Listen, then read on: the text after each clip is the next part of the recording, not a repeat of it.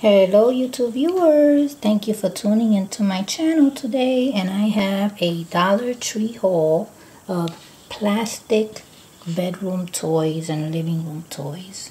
I found these in the toy section at the Dollar Tree and um, a lot of you, I'm not sure if you know, but a lot of the Dollar Trees already have gone up in price. So they're pricing their items a dollar twenty-five, and I got these when they were still a dollar. I've had them for a while and I meant to make a video with them.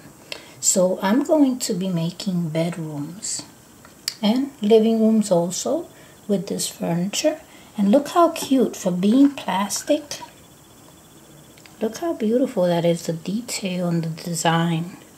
That's what it looks like in the back. So I got four of those. And, you know, in combination with other items, that are not plastic, I'm sure that they will stand out and make a stunning bedroom or, you know, living room.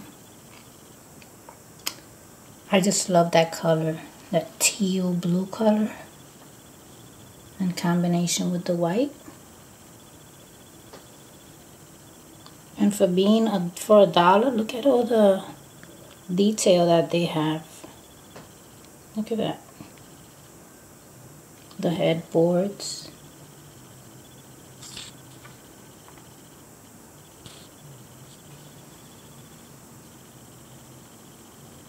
Maybe there I can put like a mirror right in the middle. Fill it with a mirror. So I will be back with uh, miniature settings using these plastic pieces of furniture so stay tuned and thanks for watching.